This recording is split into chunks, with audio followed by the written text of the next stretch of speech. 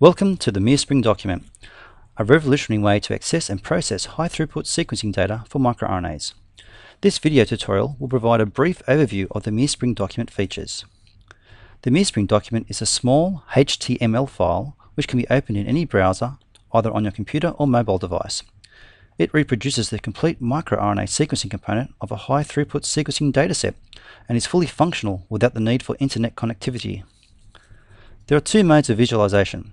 The first is a global visualization mode, which is what you are looking at now and what you see when you first open the document.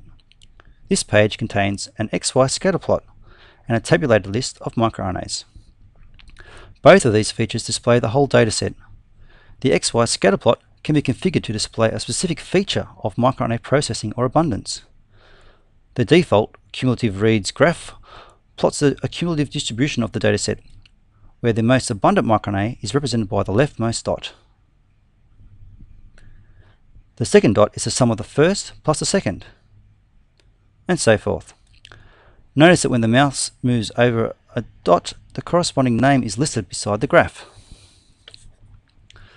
Plots of other microRNA features include length, isomiRs, ARM processing, and non-canonical processing. For each of these, the x-axis corresponds to the abundance, and it is plotted on a log scale, such that the most abundant microRNA corresponds to the rightmost dot, and the y-axis corresponds to the selected feature. Please see the Global XY scatterplot video for detailed information on these graphical outputs. At the top of the global visualization page are functions to export the data please refer to the, the export features of miRspring document video series for more information on this. The table provides a ranked list of microRNAs and their corresponding counts. The functional buttons located within the table header sorts the table in ascending or descending order. The other mode of visualization is referred to as the focus view. To navigate to the focus view, simply either select a dot on the XY scatter plot or select the Details tab located in the table.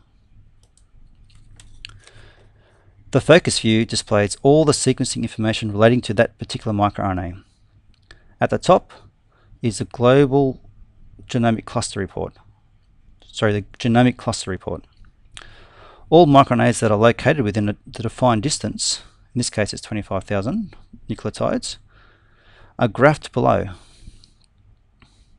The height of the bars represent relative expression level. So in this example, miR-145 is more abundant than miR-143. The arrows indicate the transcriptional direction.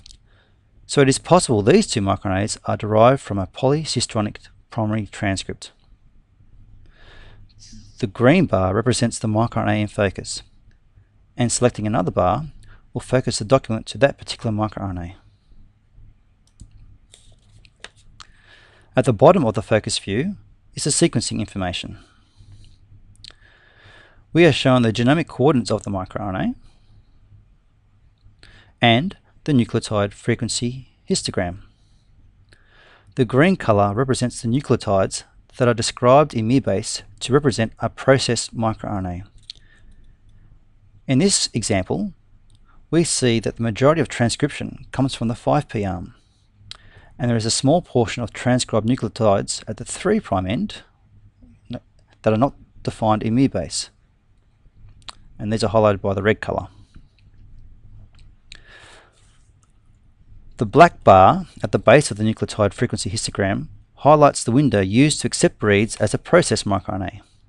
Reads that start within this region are flanked with dots on the 5' end, whereas sequences that do not are flanked with dashes. The sequence data can be viewed in, two, in one of two formats. I have established a new format that collapses all reads that start at the same 5' position and into one line. The variations at the 3' prime end are highlighted by different colours. And these colours correspond to the 3' prime uh, isomiR frequency histogram.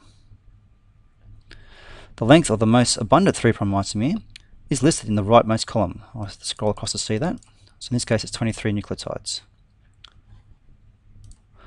Alternatively, the user can select to display a more traditional method by selecting Show All Tags.